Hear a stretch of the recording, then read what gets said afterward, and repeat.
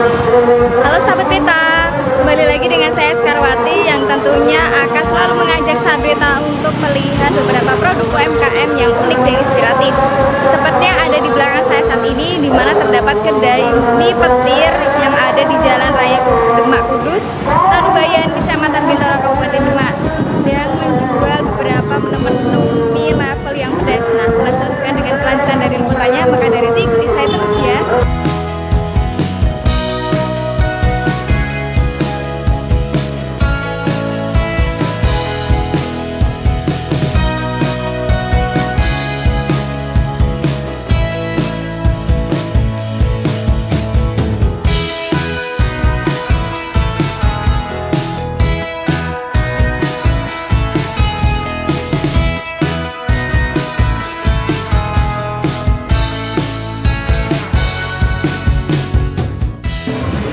Kalau boleh tahu ini muncul ide mie petir itu gimana Mbak ceritanya Mbak? Oh iya gini mbak, dari awal saya buka ini kan uh, pengen menciptakan mie dengan level pedas yang berbeda gitu. Kalau dinamakan mie level itu kan memang sudah terbiasa.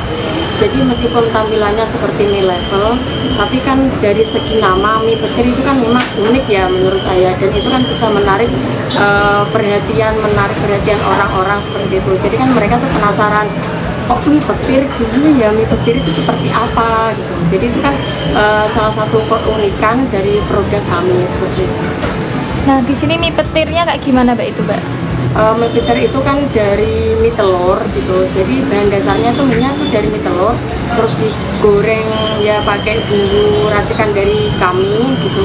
Jadi itu uh, mie goreng gitu. Ya Kalau di sini harganya kisaran berapa Mbak? Kalau harganya sangat terjangkau mbak, jadi mulai harga 8.000 satu porsi sampai harga 15.000 satu porsi. Untuk dalam sehari ini kira-kira bisa habis berapa porsi mbak? Uh, kalau hari biasa weekday gitu ya, paling ya sam- uh, 50 sampai 60 porsi. Kalau weekend itu kan memang ramai banget, itu bisa 100 sampai 130 porsi. seperti itu. Itu rasanya kayak gimana mbak? Bisa jelasin mbak? rasanya enak mbak. Rasanya tuh lezat enak. Terus perpaduan antara ini tuh kayak pedes. Memang kan pedes gitu kan pedes eh, lebih ke manis gitu. Jadi nggak nggak ke asin. Jadi pedes ke manis. Jadi eh, kebanyakan kalau saya eh, sharing gitu kan sama teman-teman yang pernah datang ke sini gitu saya tanya oh udah apa sih gitu rasanya ini pelanggannya kebanyakan dari kalangan anak muda atau umum mbak? Eh, pas pertama saya buka di sini memang market saya tuh anak-anak muda nggak taunya eh, semakin ke sini ternyata ibu-ibu bapak-bapak pun juga mulai datang ke sini nyobain gitu Ini buka setiap hari mbak? Iya buka setiap hari dari jam 10 pagi sampai jam 9 malam